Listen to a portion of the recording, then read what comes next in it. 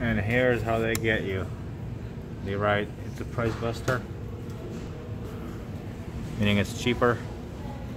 Well the regular uh, price is the same. Voila. And there you have it.